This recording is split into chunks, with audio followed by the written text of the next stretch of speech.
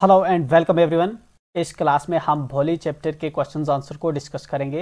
Here we have read and find out ये वाले answers आपको हमारी website view education dot com पर भी मिलेंगे। Why is Bholi is father worried about her Bholi का बाप भोली को लेकर वरी क्यों है? परेशान क्यों है?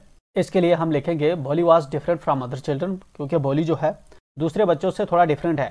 She neither had good looks nor intelligence ना ही बोली अच्छी दिखती है और ना ही ये इंटेलिजेंट है, समझदार है।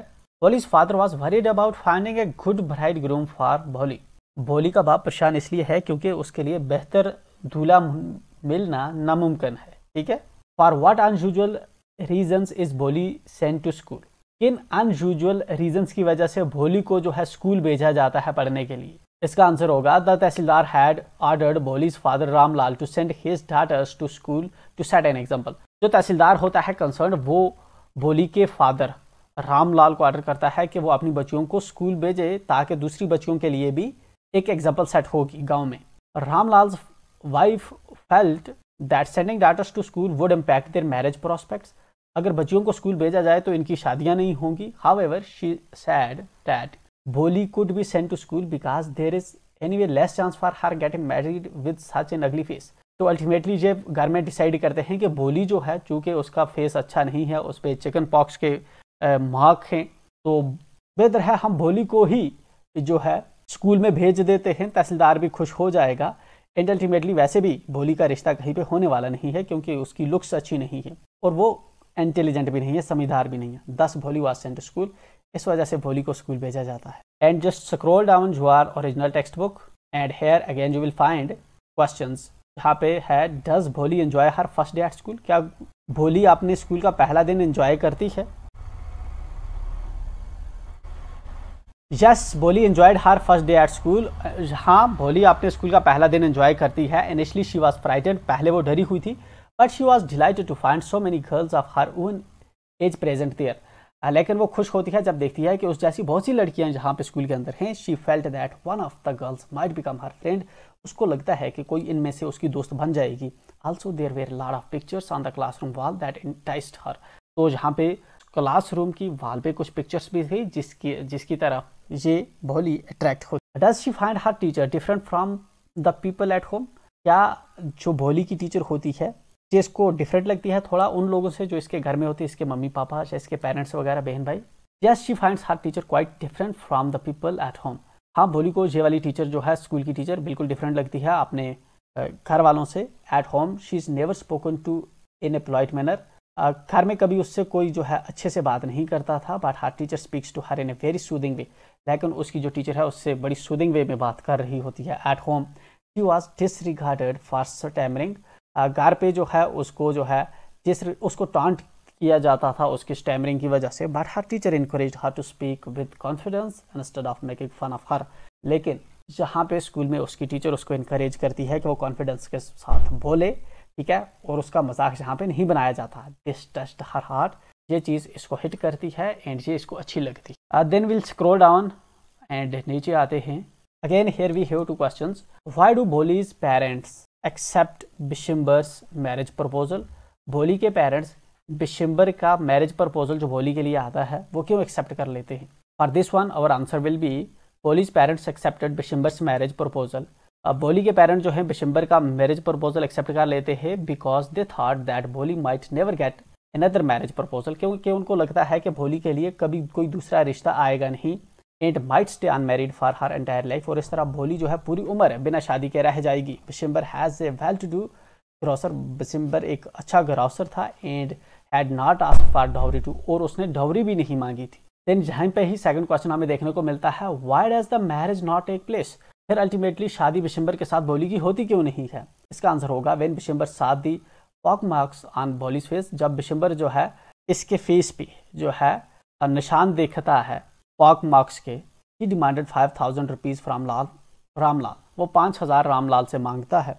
Due to the demand for dowry Bholi refuse to get married to him ये जो जहेज़ वो मांग रहा होता है डोरी की वजह से भोली जो है, उससे शादी करने से इनकार कर देती है। Back to original text and scroll down coming down here you will find think about it के क्वेश्चन पहला क्वेश्चन है जहाँ पे Bholi and many had many apprehension about going to school Bholi को बहुत सी अप्रीहेंशन थी स्कूल जाने जाने से पहले।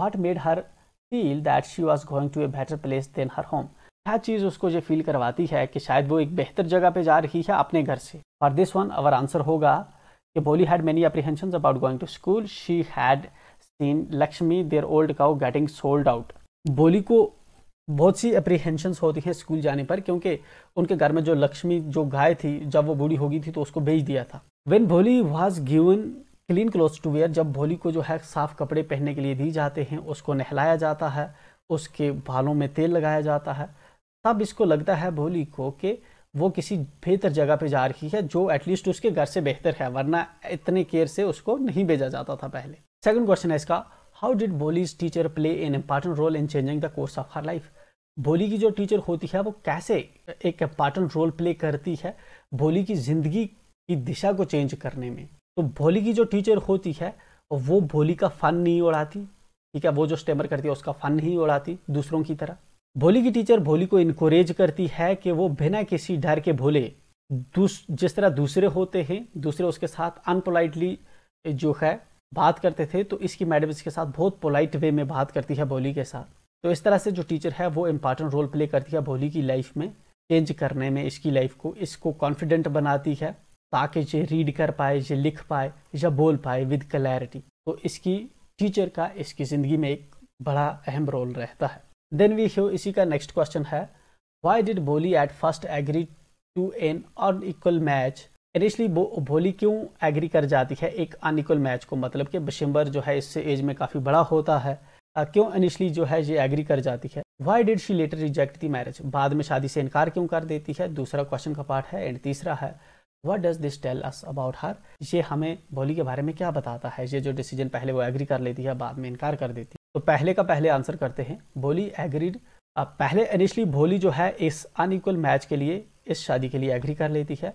वजह उसकी ये होती है, क्योंकि उसने अपने पेरेंट्स को बात करते हुए सुना हुआ था, ठीक है? तो इसके पेरेंट्स का जो था पुश था तो दैट्स वाई इस अपने पेरेंट्स की वजह से मैरिज प्रपोजल को एक्सेप्ट कर लेती है। इसके पेरेंट्स भोली की मैरिज को लेकर कंसर्न थे, इसलिए इसके पेरेंट्स को लगता था कि ये भोली के लिए जो है परफेक्ट मैच है। इवन डॉवरी भी जो बंदा है, वो नहीं मांग रहा। देन है भोली रिजेक्ट कर दे, क्यों कर देती है मैरिज को at the end of the day जब शादी वाला दिन होता है, उस दिन दूल्हा आता है बिशंबर आता है और भोली का फेस देखता है, इसके इसके फेस पे कुछ निशान होते हैं धानों के, ठीक है? तो इसलिए अब ये बिशंबर जो है, इसके पापा से पाँच हज़ार थाउज़ेंड की ब्राइब सॉरी डावरी माँगता है। एट इस चीज़ को देखते हुए जो बोली है, वो इनकार कर देती है कि इसके बाप की ह्यूमिलिएशन हुई है डावरी की वजह से, ठीक है?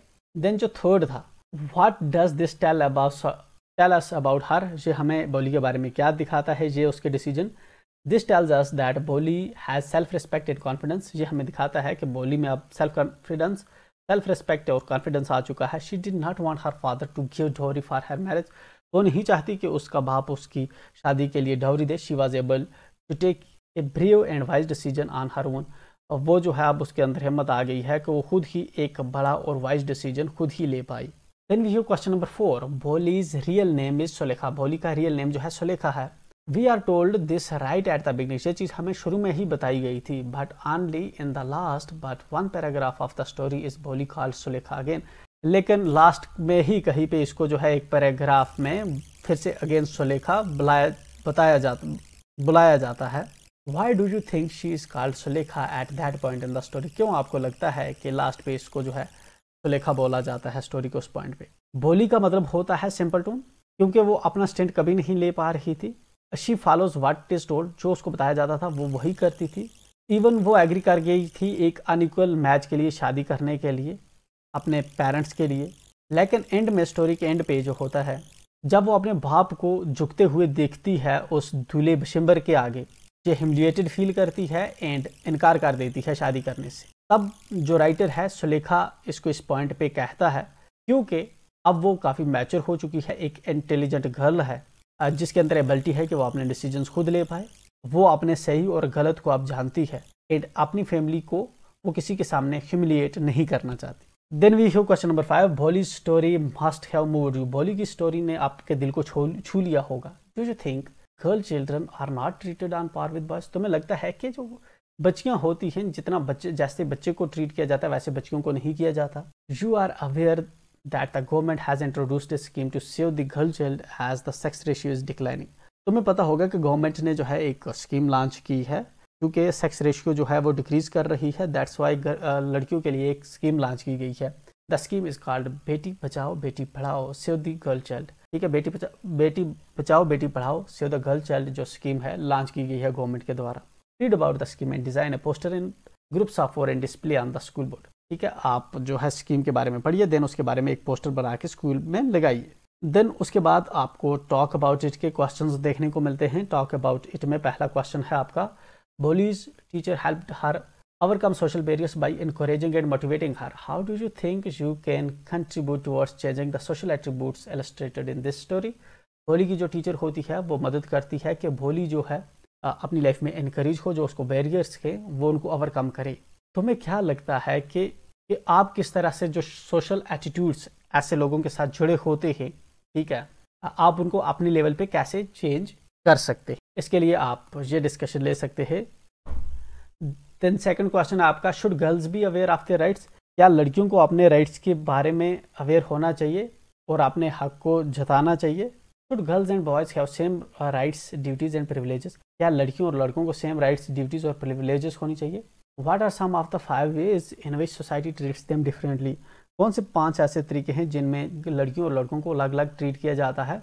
When you speak of human rights तो we differentiate between girls rights and boys rights जब हम ह्यूमन राइट्स के बारे में बात करते हैं, क्या हम डिफ्रेंशिएट करते हैं कि गर्ल्स राइट्स और बॉयज़ राइट्स इसके लिए भी आप ये वाली जो डिस्कशंस है, इसको आप कंसिड्रेशन में ले सकते हैं एंड देन अपने पॉइंट्स भी इन इसमें ऐड कर सकते देन हमारा क्वेश्चन नंबर थर्ड है do you think the characters in the story were speaking to each other in English तो मुझे लगता है कि इस स्टोरी के अंदर जो करेक्टर्स हैं इंग्लिश में एक दूसरे से बात कर रहे होंगे। If not in which language were they speaking अगर नहीं तो किस लैंग्वेज में ये बात कर रहे होंगे? You can get clues from the names of the person and the non English words use in the story लोगों के नाम से, इन करेक्टर्स के नाम से, जिस तरह सुलेखा नाम है, रामलाल है, इनके नाम से आप गैस कर सकते हैं कौन सी लैंग्वेज ये बोल रहे होंगे। तो नहीं, जो स्टोरी के अंदर जो है इंग्लिश में तो बात नहीं कर रहे, जिस तरह से पिताजी वर्ड हमें देखने को मिलता है, तहसीलदार या इज़्ज़त या नंबरदार, ठीक है ना, ये चीज़ इंडिकेट करती है जो करेक्टर हैं वो हिंदी बोल रहे हैं, ठीक है? इसके साथ ही एंड पे आप देखेंगे, कुछ सजेस्टेड रीडिंग्स आपको दे रखी हैं, आप इनको एक बार चेकआउट कर सकते हैं। ये चैप्टर हमारा जहाँ पे एंड हो जाता है, मिलते हैं नेक्स्ट वीडियो में, जिसके अंदर हम नेक्स्ट चैप्टर को डिस्कस करेंगे। Till then